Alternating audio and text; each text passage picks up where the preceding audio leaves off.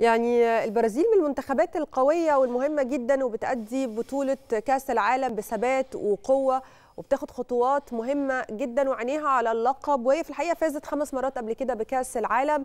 المنتخب البرازيلي قدر إنه يقدم المتعة الكروية الاستثنائية في رابع مبارياته في كأس العالم بعد ما هزم كوريا الجنوبية وقدم عرض رائع في دور ال 16 من المونديال عشان يستأنف حملة استعداده للقبه التاريخي في المسابقة. بالوصول للدور ربع النهائي لمواجهة كرواتيا النهارده. خلونا نشوف مشوار البرازيل في مونديال 2022 كان عامل إزاي ونرجع تاني.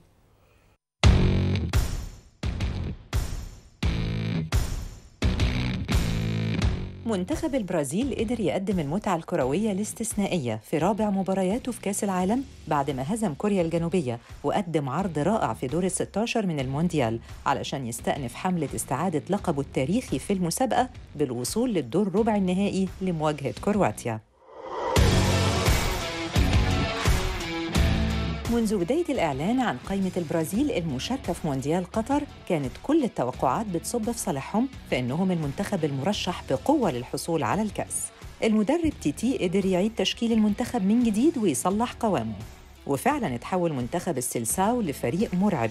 يكفي إنه في مركز حراسة المرمى بس معاه أفضل اتنين حراس في الدوري الإنجليزي الممتاز. هم أليسون بيكر حارس ليفربول وادرسون حارس مانشستر سيتي.